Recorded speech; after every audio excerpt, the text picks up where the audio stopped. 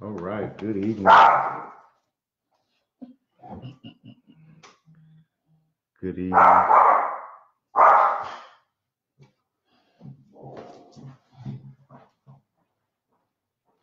As you're coming on, please remember to share.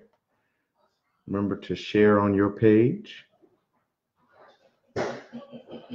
Remember to share on your page. We're excited about having you on today. Happy Thanksgiving weekend.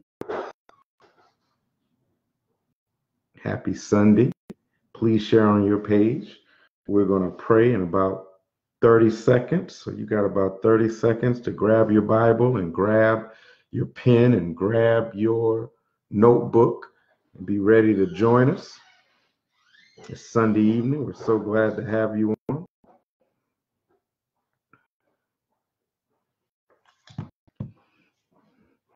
So glad to have you on.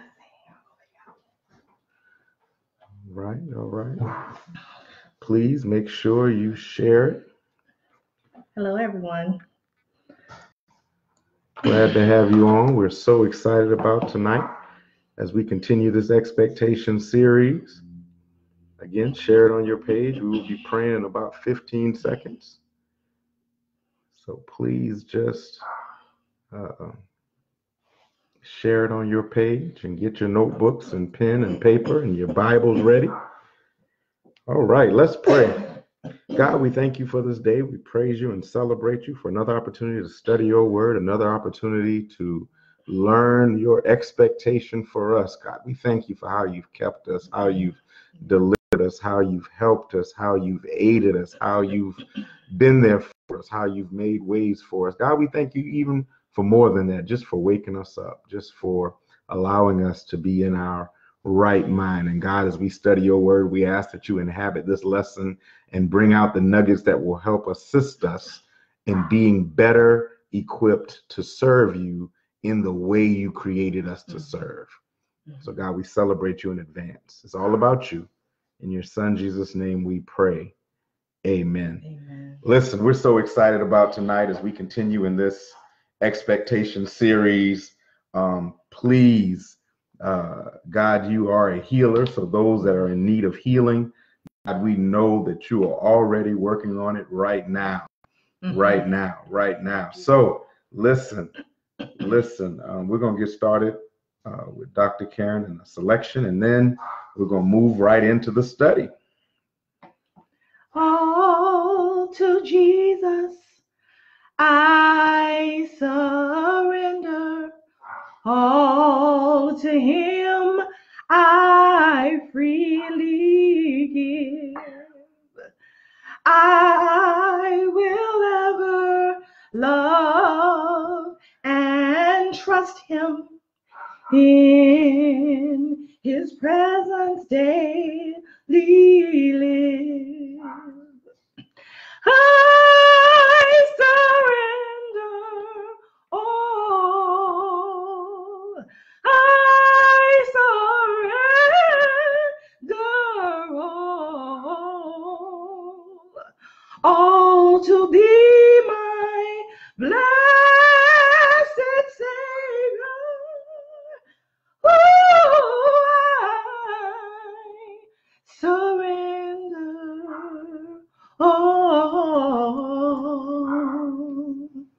Amen. Amen.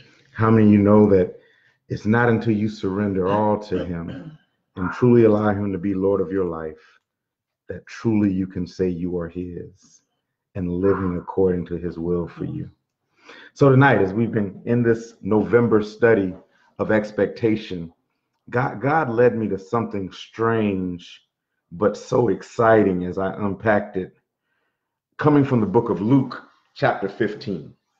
Luke chapter 15, and, and really we're going to go through the whole chapter. In fact, I believe that God is going to lead me to a series in 2019 dealing with this chapter.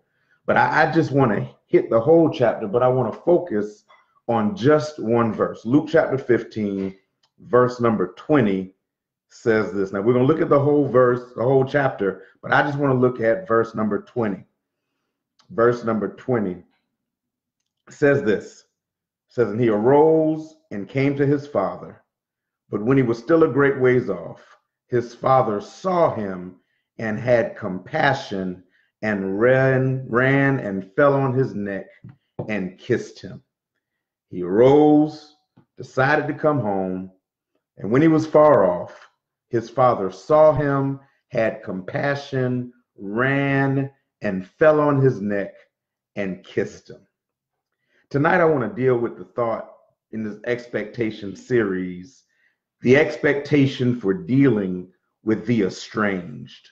The expectation for dealing with the estranged. Estranged by terminology is a person that is no longer close or affectionate to someone. They're alienated. Or it's a person that's no longer living with a spouse. Now we're in Thanksgiving season, and the reality is all of us have people that we aren't talking to anymore. All of us have people that we have alienated or we have written off or we have stopped speaking to. And the reality is, God has an expectation for the way we deal even with people that we thought were no longer necessary in our lives, that we thought were no longer needed, people that once were family, once we're close, once we had a relationship with, but now all of a sudden we don't speak anymore. All of a sudden we don't deal. Now we used to love them, but now all of a sudden they are no longer necessary in our lives based on our opinion. But but God still has an expectation for the way we deal with them. With them. This this is a great narrative that comes about in three parables. And these three parables are started by Jesus in response to how the Pharisees are dealing with him. So Luke chapter 15, verse 1 says, The tax collectors and the sinners drew near to him to hear him, and the Pharisees and scribes complained, saying, This man receives sinners and eats with them. Now they're talking about Jesus and how he's dealing with the tax collectors and the sinners, but they don't realize that these are the people he was sent to. In fact, he says in the earlier text that those who are well don't need me. I came to the sick. But the reality is, they're his family. The tax collectors and the sinners are his family. And he is expressing to the Pharisees, which represents the traditional church, that there is a need you should have in dealing with those who have become estranged, those who have separated or been alienated for whatever reason. So, so, so he says, listen, let me give you some parables which I use to give my expectations of how you, the church, should deal with the estranged. So, so again, he's talking to the Pharisees. The Pharisees represent the established church, and he says, listen, this is how you should deal with them. Here's the first thing. I expect you to find those who get lost by their own preoccupation. I expect you to find those who get lost by their own preoccupation. How does he do this? He gives a parable about a lost sheep. He says there's a shepherd who has a flock of a hundred and realizes that one of his sheep is missing. And he leaves the 99 to go after the one. Watch this. He has a flock. Now, sheep, they eat and they get so consumed with what they're eating that they tend to wander off while tracing the food. So they wander off, and this sheep has wandered off because they've been preoccupied with what's in front of them. But he leaves the 99 that he has together and goes after what God expects us, regardless of how they got separated, regardless of what preoccupied. And many of us get mad at people who get preoccupied by becoming successful who get preoccupied by finding a new boo, who get preoccupied just by the ups and downs of life. We figure, oh, they ain't called me yet. They ain't called me in a while, so I'm gonna forget about them. No, he says you go find them. Now, here's the thing that you miss if you just read it in your natural understanding. You miss that it doesn't say how far he went. Doesn't say how long he traveled, doesn't say what he had to go through, what rivers he had to swim through, what mountains he had to climb over. It says that he chased them down until he retrieved them. Then watch this. He picked them up and put them on his shoulder and returned with them, which means he didn't allow the chance to take place that he would misplace them again. So instead of letting them wander in front of him, he picked them up and put them. He took extreme lengths to ensure that the relationship would be salvaged. Why? Because he valued the sheep so much and understood that preoccupation happens to anybody. Here's the reality that we don't want to admit. The only reason that the sheep got away is because somehow the shepherd himself was preoccupied. Oh, wow. So the shepherd got preoccupied with shepherding the 99. The sheep got preoccupied with whatever led him away. But, rea- but the reality is, both of them got preoccupied. You, you know, that, that's like somebody uh, calls you and they you say, Well, I ain't hear from you in a long time. And they say, Oh, well, the phone works two ways. Why? Because the reality is someone can only become separated if both parties take a pause from being interactive. Right? So so he expects us to find those who get lost by their own preoccupation. You you need to know, you need to know that there is an expectation for you to find those who have gotten lost because they've been preoccupied. You know, so here's the second thing. Then you got to focus on those who become lost due to our own personal overlooking. So we had to find those, we had to focus on those. So we, we're first commissioned and expected to find those who got lost because of their own preoccupation. Now we got to focus on those who get lost because of our personal overlooking. The next story he tells is of a coin. This woman who has 10 coins in the house and she misplaces one coin. The text says she cleans the house, turns the house upside down to find that one coin. But here's something we often miss. We say it's the lost coin, but the reality is it's not lost, it's overlooked. She knows where the coin is, it's somewhere in her house. It's not outside the house, it's somewhere within the confines. So she knows the parameters where the coin is. Um, it's not on the staircase outside, it's not in the drain, it's in the house. So it's not lost, it just simply means that somehow she has overlooked it. Ah, so many times we don't value what we have and we begin overlooking it. Friendships in the house, in our circle, we focus on one or two of them and fail to look at the value of the other ones, and they feel lost, but they're right there in the parameters. Um, I, I, yesterday, I had a fit because I was trying to find my flash drive, trying to find my flash drive that has my dissertation on it, finding my flash drive, looking all over, getting frantic, but it was in the house. It was in the house. I just happened to overlook it. God says there's some people in your circle that that haven't disconnected from you that haven't erased their phone number out of your out of their, their phone number out of your contacts have not unfriended you. They're still there but for whatever reason you've been overlooking them. And the reality is their value is necessary in the season you're in. Oh wow. See she wouldn't stop. Even though she had nine coins she wouldn't stop until she found that 10th coin because whatever she needed to complete with the purchase could not be completed unless she had all 10. And you need to know there are some people in your life that will push you to the next level if you would just take the time to stop overlooking them and find them. They're not far, they just need some attention. Hold on. Because the reality is, it took that coin being lost for her to, to attend to some of her own personal affairs. Again, if the coin wasn't lost, she wouldn't have cleaned the house. if the coin wasn't lost, she wouldn't have swept in the corners. Sometimes maybe God allows you to overlook people because there are some tasks that will be assigned that need to be completed and that won't be completed until you realize the necessity of those you've been overlooking for a long time. Mm. Here's the third thing God expects us, when dealing with the estranged, to forgive those who become lost.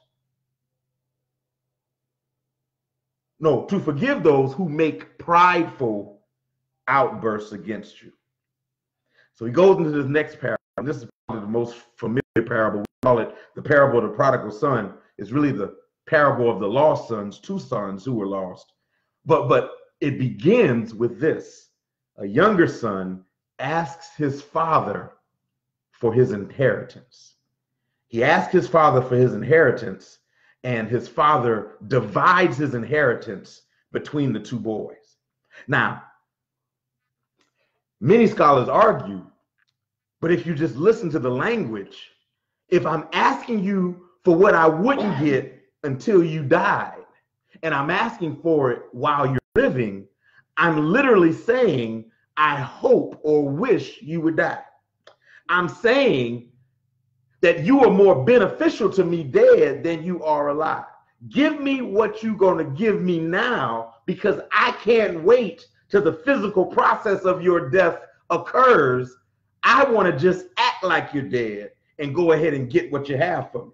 That's a prideful outburst. This this this, this young boy said, "Listen, dad, I've gained all I can gain from your materially being here.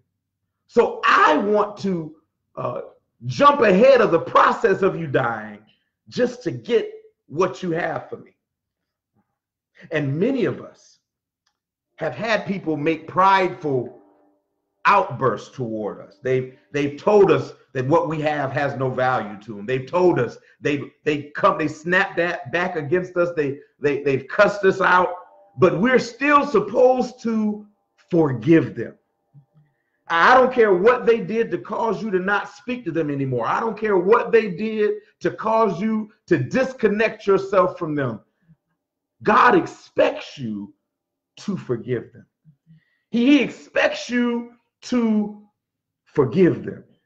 I know they hurt your feelings. I know they might have done it publicly. I know the whole town is talking about what they did.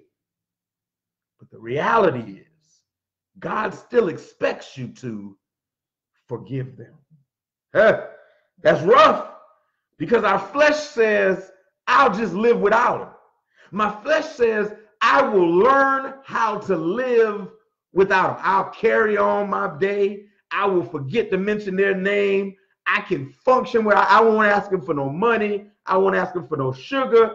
I'll be cool. But God expects us to forgive them. Mm. They spoke against you, but forgive them. They talked about you, but forgive them. They're benefiting off of what you had when they no longer needed you, but forgive them. Mm. That's the expectation of God because you're not going to function well if you operate in unforgiveness. I know they hurt you, but forgive them. I know you feel bad, but forgive them. Here's the third, the fourth one. This is serious. God expects you to be fixated on a peaceful opportunity to reconnect. God, God expects you to be fixated on a peaceful opportunity to reconnect. The text says the boy had his issues while he was out. And one day he came home. Text says, while he was afar off, the father saw him and had compassion. Watch this. He's walking from afar off. The father saw him before he saw the father. And the father used that opportunity to peacefully reconnect. The father had compassion and ran to him. God expects you to stop avoiding people who've hurt you, to stop running from them and blocking them. God expects you to wait for the right moment and reconcile yourself to them. Listen, I know they hurt you. And I know you can drive yourself insane staring in the mirror, practicing this conversation where you where you cuss them out or get them back for how they hurt you. But God says no. Instead, focus that energy, fixate that energy on thinking of how to reconnect. Stood on his porch. You don't know how many days the boy was gone, it doesn't say, but a season had changed. But this father still came out on the porch hoping that his boy would come home. Not filled with anger, not filled with malice. He ran to him. Oh man, he he ran to him, and in running to him, he uh, had an opportunity to peacefully reconnect with his son. Oh man, that there's some of us who need to adjust our attitudes when we think about those we've hurt or those who've hurt us. And we need to think about ways. We've seen them in the store. I, I know, I know while you're in the store, you try to go to the other aisle. But why not just approach them? Say you're sorry and mend the relationship. Mm-hmm. Hey, here's the next thing. God, God expects us when dealing with the estranged to be faithful in protecting them from others. Uh, this is serious because the father comes, runs, falls on his neck, the text says, and kisses him. Now, we think that's all about just being so excited to see the boy. But if you go to the Old Testament, you understand in Deuteronomy chapter 21 that the boys should have been stoned by the elders for the way he handled his father. So the father says, Listen, I know you did me wrong, but I am obligated as your father to still protect you from the others. Your issue is with me. And I'm not going to leave you out there to be mishandled by them. Ooh, we. Um, um. So when there's a breach in relationship, here's the thing: you you don't let nobody else talk about the problem. You don't let nobody in the street talk about. You you don't let nobody else in the street throw daggers at the person. No, your job is to protect them. You you must be faithful in covering them. Hold on, watch this. Even when it means you got to take some blows. That's serious. Because the elders were throwing stones. So to protect his son, he covered his son with his own body. And many of us, when we've been hurt, we take that time to join in with the crowd who's talking about the person who hurt us. But God expects us, oh man, that's rough. God expects us to still protect them, even when they hurt us. Woo! God expects us to cover them, even when they hurt us, to cover them, even when it would be easier to join in the conversation of the crowd. God expects us to cover them. Hmm. Hmm. Here's the next thing God expects us, when dealing with the estranged, to face them without pressing them to own up to their mistakes. Ugh. Father hugs him. He hugs him, he kisses his neck. But he never says, I told you you'd be back. He never says, I was waiting on you to be back. He never says, What brought you back? No, he simply loves on the boy. The boy makes it in, up in his mind to have this conversation with us. The father never prompts the conversation. Watch this. The father never prompts the boy to own up to his mistakes. The father simply loves him for coming back, protects him from the crowd who set to kill him, and the boy owns up. Stop trying to make people admit to what they did to you. They know. They, they, they're conscious of it. You don't have to make them say it. All you need to do is love on them. And if their conscience eats them up, they will confess. Look at what the boy says. The boy says, Listen, I don't deserve to be a son. Just make me a servant. I, I don't even deserve. In fact, he started that conversation in the pig pen. He started talking himself up to how he would come back. So, so here's the reality. You don't have to cause him to hurt. He's been hurting since he's been in the pig pen. Oh man. He's been beating up himself with his his conscience has been beating him up the whole way back to the house. He's been rehearsing in him his mind what he was going to say, how his father was going to respond. What if his father didn't respond right? What if his father wasn't home? What if the crowd got to him first? He's been re- that's sometimes the only punishment that's necessary. Sometimes the only punishment that's necessary is the conviction you get in your own conscience when you realize you messed up. So the father doesn't press it, the boy owns up to it on his own. Here's the next thing. I gotta hurry to the end. I'm almost done. When, when you're when you're your God's expectation for the way we deal with the estranged is this. He expects us to flip the script and provide the opposite of what they expect. So so the fa- the boy comes and says, "Listen, I don't I'm not I don't deserve to be a son. Make me a servant. I, I don't deserve to be called your son. Make me a servant. I don't deserve to be called. I don't worry about it, Daddy. I'll punish myself. I, I will remove the labeling of being your son, and I will settle for just being a servant. That, that was the boy's expectation. But the father flipped the script and provided for him the opposite of what he thought. The father said, Listen, get him the best robe, put a ring on his finger, put sandals on his feet, and let's throw a party. God, expects us when we're faced with the opportunity to mend a relationship with someone who's estranged, he expects us to flip the script. He, he expects us to provide the opposite of what they expect. Here's the reality when I'm trying to mend a relationship, they're already expecting the worst. They're already tense and prepared to snap back, prepared to cuss back, prepared to fight if necessary. God expects us to flip the script. He expects us to provide the opposite of what they're expecting.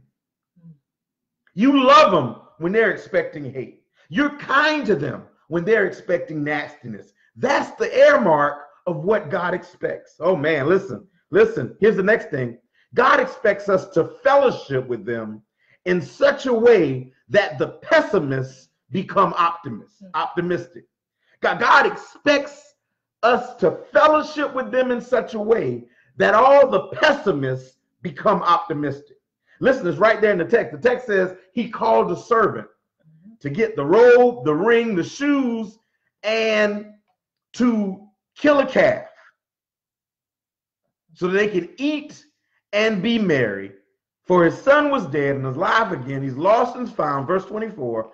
And they began to be merry. Watch this.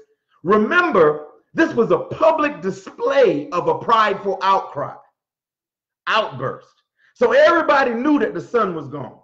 Everybody knew that he disowned his father, took the money, and ran. Everybody knew, and nobody expected him to come back.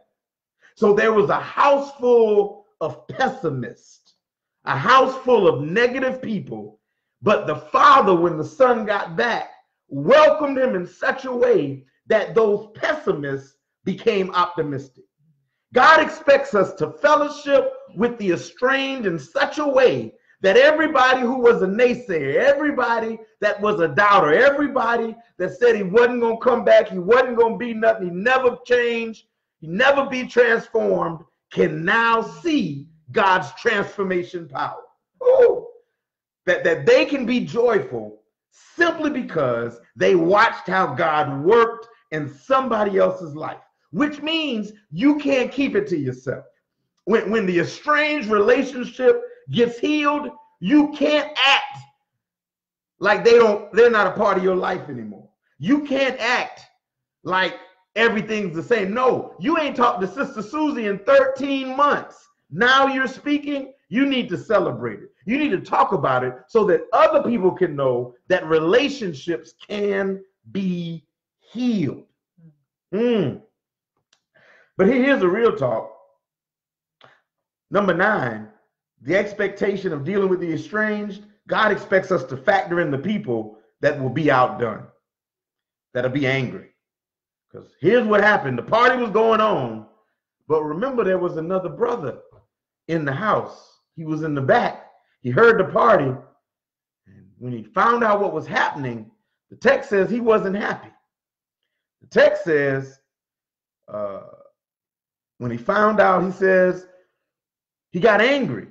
Verse 28 says he wouldn't even go into the party. So his father came out to him and pleaded with him. So he answered and said to his father, Lo, these many years I've been serving you, never transgressed your commandment, yet you never gave me a young goat that I could make merry with my friends. But as soon as this son of yours came, who devoured your heart, livelihood with harlots, you killed the fatted calf. So he's bitter. And here's the reality anytime an estranged relationship is healed, other people are going to be mad. The people that remained your friend. Oh man. Oh, let's deal with this. God, I don't want I got well, we'll go a little bit over. Um the people that stayed. See, the reality is there probably were some other people that were angry, but they hung with you while the other friend left. Yet when the other friend left, you get on Facebook and you get all excited about the fact y'all ain't party together in two years. Don't worry, the friends that's been around you, that's been dealing with you, that's been hearing you talk about that person, they gonna think you fake. Because you done talked about them for two years and now you partying with them. But the reality is you gotta already know everybody ain't gonna be happy. Um, ah, the people that's been blowing up your inbox when they found you and your boo split up. And now you and your boo back together, oh, they mad. They mad because they thought they had a chance. You got to already take into account, factor in that everybody's not to be happy. The reality is you're not doing it for them. You're doing it because it's the expectation of God that you heal what needs to be healed. They're not going to be happy. This boy was irate. In fact, he no longer called him his brother, he simply called him his father's son. You got to understand, everybody's not going to be happy. we speak from experience. Everybody not going to be happy. When things go back to normal, they're not going to be happy. But you got to factor it in. But here, here's the last thing. Here's the last thing. How do you deal with the estranged? Here's the last thing. You got to be fixed on the big picture, and that's your obligation to restore. Here's what the father didn't do the father didn't get into a back and forth with his son. He simply said this, verse 32 It was right that we should make merry and be glad, for your brother was dead and is alive again, was lost and is fine. See, here's what you can't do when you're trying to heal these estranged relationships. You can't fall into the trap of getting into a discussion or a back and forth with those people who aren't happy about the relationship healing. You, you can't find yourself trying to justify what you're doing to people who will never understand because they got their own messed up relationships that they won't fix. The reality is you can't worry about them. You got to focus on the obligation God has, and that's for you to restore. So what they don't like it. So what they're not happy. The text never says the brother went back into the party. The text never says he ever hugged his brother and welcomed him back. But the story ends with the father justifying his actions, being solidified and fixed on his obligation to restore. His prior, your priority in this is to restore the relationship. If the world don't understand, it don't matter. God knows, and God understands. Hmm. God expects us. It's Thanksgiving time. There were some people that you look at the, the the the year flashback on Facebook who you was hanging around with last year that for whatever reason you've fallen out with and you weren't with this year. There are some people that you haven't spoken to in a while and you've made up in your mind that you cool not speaking to them. Mm-mm. God expects us when we deal with those who are estranged, those who were once in fellowship, once in relationship, and are no longer in relationship. God expects us as followers of Him to follow His expectation, and that's to go after them no matter how long it takes, to look for them and stop overlooking them and to forgive them or ask for forgiveness ourselves. Because the reality is, one act on one person's side does not sever the relationship. The relationship does not become severed until both parties have agreed not to go after each other. So, so here, here, here, here's as we close. There's another relationship that many of us have severed that has become estranged, and that's our relationship with Christ. Christ hasn't moved. He's still waiting for us, but somehow we have strayed away. Mm-hmm. And he's here right now, and he's ready to extend an invitation for you to come back home. There's nothing you've done, no party you've been to, no drink you've drunk, no cigarette you've smoked, no weed you've rolled, no powder you've sniffed, no pills you've popped, no act you've done that can separate you from the love of Christ. Mhm. That that you've not done anything that's so bad that God is not willing to receive you back and forgive you of your sins. So so here, here here's the connection time. We first want to extend the invitation for you to connect to Christ. If you've never experienced the love of Christ in such a way that it calls you to submit to him, to confess him as your Lord and Savior, and you hear God telling you right now, wherever you are, that it's time. It's time for him to be more than just someone you cry out to in your problems, but it should be someone that you surrender to and submit to in your life. If that's your call, if you feel God urging you to confess him as Lord and Savior and you're ready to connect to him, simply inbox us so we can pray. Here's the second thing. If you've been connected to him in the past, but you've somehow disconnected, you've stopped worshiping, stopped praying, stopped talking to him, stopped believing in him, stopped following his rules, stopped walking in his way and in his will, but you hear God saying today, it's time to come home. If you found yourself in a pig pen experience, like the young man from the text, and you feel that God is telling you it's time to come home, then inbox us so you can reconnect to Christ and we'll pray with you. Finally, if you want to connect to us, to the Life Center, if you want to connect and connect to Dr. Karen and myself um, in relationship, then, then simply go to our website, www.tlcsumter.org, hit the connect tab, and give us your inbox, your email address so we can reach out to you and you can begin this fellowship. We are a community. You're, you're, you're, we're a community of Christ followers. This is not a church by what many of us have called church. This is a community. We fellowship together. We do life together. We walk through life together. So again, and finally, if you want to connect through contribution, you can use GiveLify, Cash App, or PayPal using the tag TLC Sumter. Listen, today I'm, I'm asking for something special. I'm asking for contributions to the Bread of Heaven food ministry, which is the breakfast ministry of Mount Pisgah. They feed breakfast seven days a week, and we have committed to support them in the purchase of breakfast meats, in the purchase of grits, in the purchase of plates, napkins, cutlery, and coffee. So, grits, breakfast meat, plates, napkins, cutlery, and coffee. So, if you want to donate, con- make a contribution to that, hit us up on GiveLify, Cash App, and earmark it for Bread of Heaven.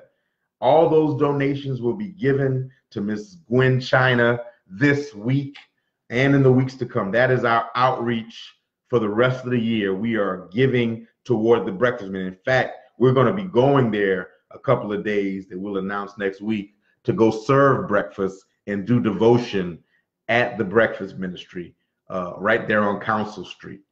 All right. Listen, we thank you for being on. We are so excited. We're going to close in prayer and uh, we're just going to ask. Oh, listen, tomorrow is Cyber Monday, and we are advertising and launching a Cyber Monday, Monday deal for our Principles of Preaching class. It's a Cyber Monday deal. Look out for it. for those who want to learn or improve or perfect their preaching. Man, we got a deal, a course for you. We got other stuff coming up too, but that's going to be launched tomorrow. Um, look forward. Let's pray. God, we thank you and celebrate you. God, we thank you for showing up. God, this was a difficult lesson Mhm. because we've often been taught to let people die in certain seasons and leave them alone. But there are some bitter relationships that need to be healed. There are some relationships where we left in an unhonorable manner. We left with an attitude. We ended it with strife. And God is saying, no, there's a better way to do it. Mhm. And so, God, right now, give us the strength to act out the tidbits of this lesson. Give us the strength to, to be able to forgive, to find, and to focus. Give us the strength to be able to fix.